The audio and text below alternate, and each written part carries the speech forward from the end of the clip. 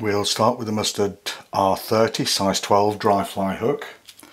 This is the Quill Cul Midge emerger. We just put a small amount of black tying thread to about there. Then we need a natural stripped peacock quill and we'll just attach this. We want a nice slender body on this. So nice neat turns because this will be the underbody.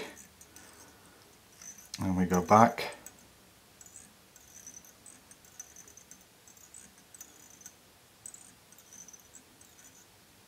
To about there.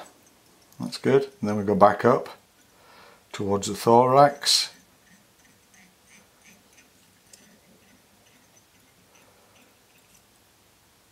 Just break that off. Need our hackle plier.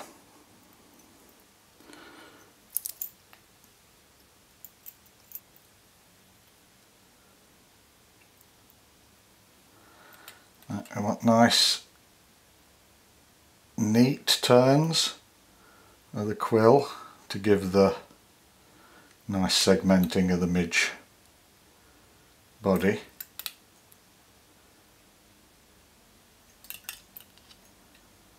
Just go up towards the thorax.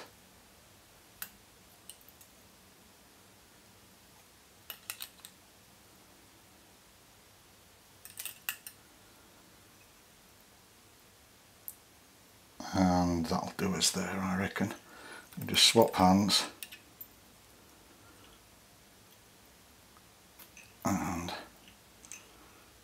tie that down. Just secure that.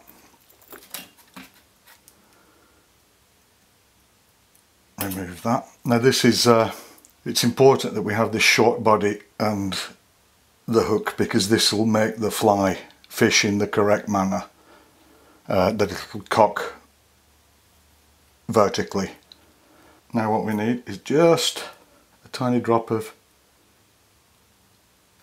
UV resin.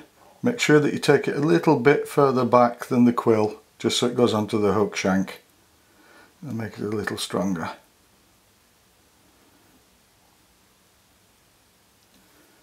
Just like that and just give that a blast.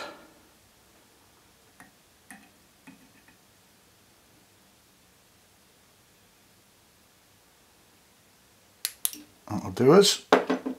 Now we need three or four CDC hackles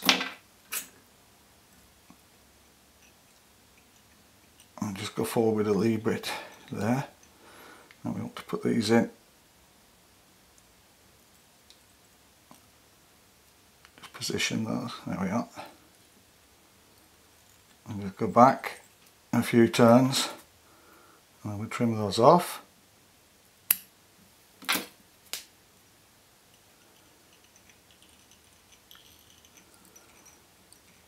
secure those. And we go back up to the hook eye and lift them.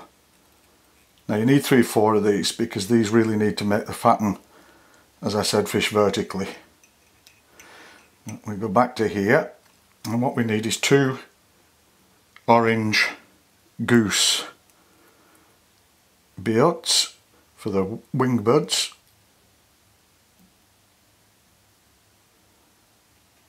just one in there.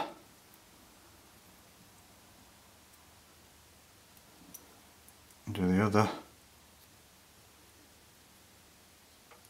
On the other side.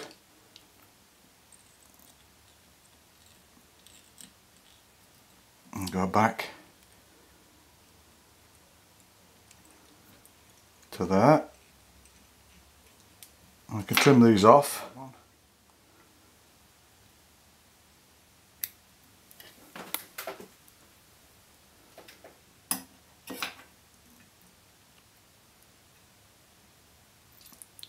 and then tiny bit of dubbing this is squirrel spiky squirrel that I've made myself from Veniard Pine Squirrel. And just go over the thorax. With that we lift the wing again and we put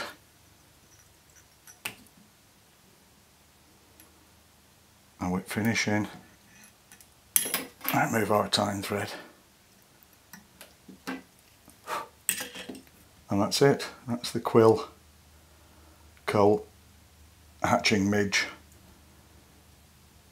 And that fish is absolutely excellent the whole year. It fishes very well and of course you can do the body in different colours. If you enjoy the videos please like subscribe and share and thanks for watching